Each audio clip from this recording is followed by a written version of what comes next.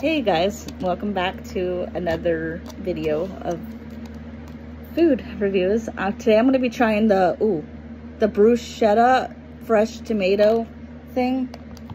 Um, sorry, I didn't mean to drop that. So we'll just do that. But I'm going to be trying it on these bagel crisp, uh, the roasted garlic, New York style. I got both of these at Giant Eagle. I mean, Shop and Save. Shop and Save. So if you have a Shop and Save near you, definitely recommend. So here's the crisp look like. And I'm gonna mix this a little bit. I heard it's supposed to be really good, so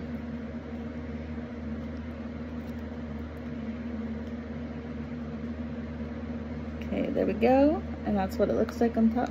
Okay. I'm just gonna use this.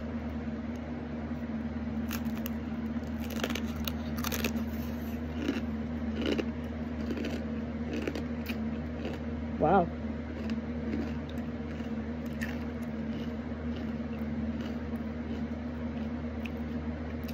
Um, surprisingly, surprisingly, they're not that bad.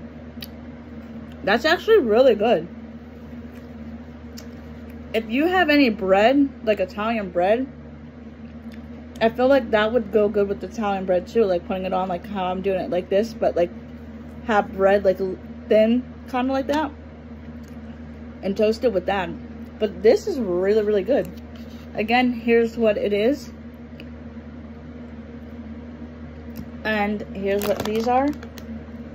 And my, I give it a 5 out of 5. And that's my review on both of these. Uh, Shop and Save is where I got these. And uh, see you guys in the next review. Bye.